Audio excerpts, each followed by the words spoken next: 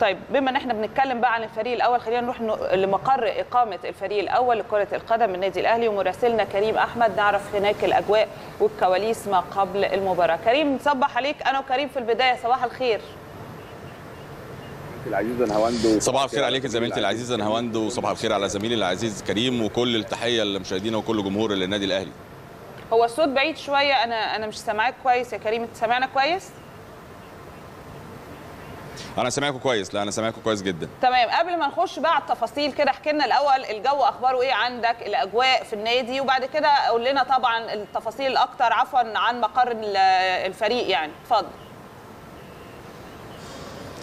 بالتأكيد طبعا يعني نقدر نقول لو نتكلم على الجو الشبورة طبعا أمر صعب جدا في البداية لكن يعني النادي الأهلي وكل المباريات بيكون معسكر قبل المباراة بيوم وده أمر مهم جدا لأن الشبورة كانت صعبة جدا الصبح لكن يعني أنت عارف الفندق قريب جدا من استاد الأهلي والسلام في منطقة التجمع. في شمس شوية لكن يعني إن شاء الله بإذن الله بقى في موعد المباراة الساعة 7 مساء بإذن الله يكون الجو موفق وكل الظروف تكون مهيئة إن شاء الله لفريق النادي الأهلي النهارده عنده تحدي كبير وتحدي قوي جدا.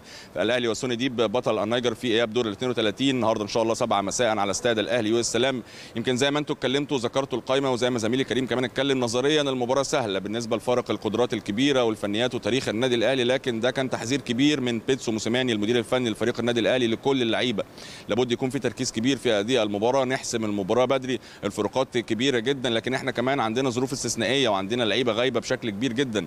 النهارده يمكن تم اختيار 21 لاعب في القائمة لكن على الجانب الآخر في أكتر من لاعب. النهارده يمكن السوليه بيغيب مروان محسن بيغيب رامي ربيعة محمد هاني الشناوي جونيور اجاييه جيرالدو ناصر ماهر عدد كبير من لعيبة النادي الأهلي بيغيب عن هذه المباراة لكن إن شاء الله كلنا ثقة في كل اللاعبين والجهاز الفني. بيتسو موسيماني إن شاء الله النهارده كمان يكون موفق في اختيار التشكيلة الأمثل ليخوض بها هذه المباراة. لكن من الأشياء المطمئنة واللي بنطمن بيها أكيد كل جمهور النادي الأهلي وزي ما أنت ذكرتي زميلتي نهاوند على عودة أكتر من لاعب على رأسهم أكرم توفيق وكهربا ومحمد مجدي قفشة وطاهر محمد طاهر. لكن أنا بزود عليهم كمان رامي ربيعة كمان سلبية المسح. الحمد لله طمنا عليه بشكل كبير ومحمد هاني. لكن بعضهم خلال الأيام الماضية عن التدريبات مش جاهزين طبعا فنيا وبدنيا فكان قرار موفق أكيد من بيتسو موسيماني إن هم ما يكونوش متواجدين في قائمة هذه المباراة لكن الأمر الخاص بالكورونا أمر مزعج اتكلمنا عليه أكتر من مرة خلال الأيام الماضية لكن يا رب إن شاء الله بإذن الله لعيبتنا تحافظ على نفسها خارج الملعب. ده الأمر المهم داخل النادي الأهلي في كل الفروع وداخل ملعب مختار التتش الإجراءات الاحترازية والوقائية مشددة جدا سواء من طبيب النادي الأهلي الدكتور أحمد أبو عبله اللي اجتمع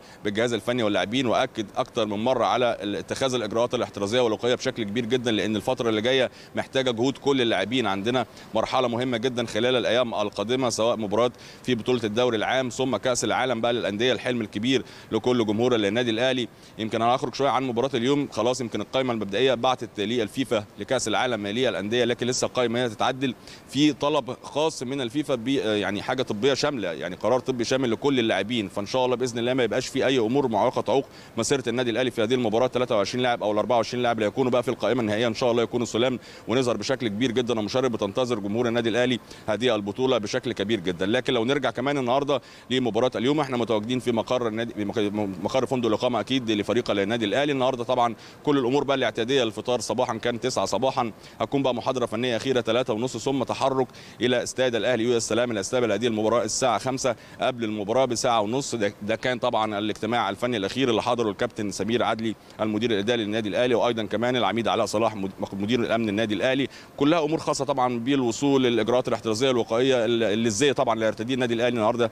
هيرتدي النادي الأهلي زيه التقليدي. وعلى الجانب الآخر ياسون ديب هيرتدي الأزرق في الأزرق في الأبيض. يا رب إن شاء الله بإذن الله كل الظروف تكون مهيئه لفريقنا النهارده. جمهور النادي الأهلي منتظر هذه المباراة. اداء ونتيجة إن شاء الله تكون المباراة من نصيب النادي الأهلي. أنا معاكم لو في استفسارات.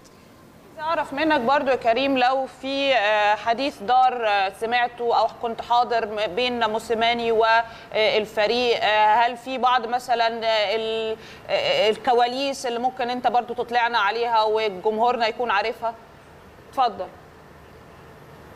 بت... يمكن أقدر أقول لك طبعا كل الأحاديث الخاصة ببيتسو موسيماني ولاعيبه النادي الأهلي بتكون عقب كل وجبة. يعني وجبة الفطار بيكون في أحاديث وبيكون في اجتماع. بعد الغداء بيكون في أيضا اجتماع. الحديث كله طبعا عن أهمية المرحلة وإن يكون في تركيز كبير في هذه المباراة. لعيبة النادي الأهلي يمكن أكيد عارفه أهمية البطولة. إحنا خلاص البطوله التاسعة انتهت البطولة العشره عايزين البطولة العشره وده أكيد بيبقى مطلب جماهيري لكل جمهور النادي الأهلي. لكن كل الأحاديث كلها بتصب في الفريق. إهدار الفرص ده كان أمر اتكلم عليه بيتسو موسيماني مع لعيبة النادي الأهلي. لابد إن إحنا نستغل انصاف الفرص مش هتجيلنا فرص كتير. الملعب كان سيء جدا في المباراة الأولى صحيح. لكن النهارده طبعا صحيح. إن شاء الله لعبتنا مع جودة الملعب الكبيرة بالنسبة لمباريات الأهلي. والنهاردة إن شاء الله على استاد الأهلي والسلام. الأرضية مميزة جدا. إن شاء الله تساعد بقى لعبتنا في خلق المساحات والجمل التكتيكية اللي اشتغل عليها أكيد بيتسو موسيماني خلال الأيام الماضية. الحديث كله طبعا مع اللاعبين سواء اللاعبين بعضها وبعض أو الجهاز الفني. الكل طبعا بيتكلم على أهمية المباراة. ما يبقاش في أي استهتار ما يبقاش في أي أمور. إن شاء الله بإذن الله تساعدنا. نعدي بقى المباراة دي. ننتظر بقى إن شاء الله المجموعات إن شاء الله. ويتبقى كل التوفيق. النهارده إن شاء الله للنادي الأهلي في هذه المباراة. طبعا ويمكن كمان لو أنت كنت متابع أكيد المؤتمرات الصحفية اللي بتيجي بعد المباريات المختلفة لباتشو موسيماني هو كان دائم التأكيد على فكرة هنا إن الغيابات حتى مش مبرر ابدا لفكرة هنا اللعب بمستوى مش يليق بمستوى الفريق الأهلي. فدايما بيكون حريص إن الأهلي بمن حضر. فيمكن في رسائل كتيرة جدا برده هو بيكون حريص عليها إن هي توصل لجمهور الأهلي وفي نفس الوقت توصل للعيبة. فأعتقد دي برده نقاط في غاية الأهمية.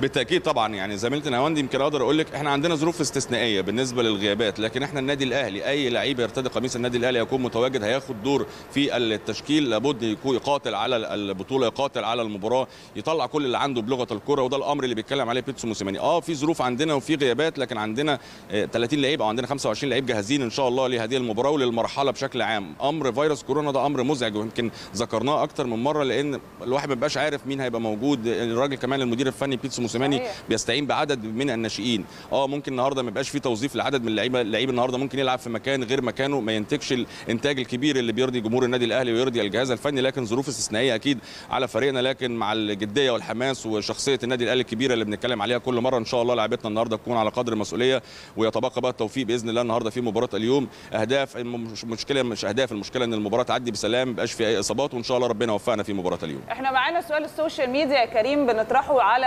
المشاهدين بنقول لهم توقعاتكم لمباراة اليوم. خليني أسألك برضو السؤال ده قول لي توقعاتك للمباراة النهارده تنتهي كام كام؟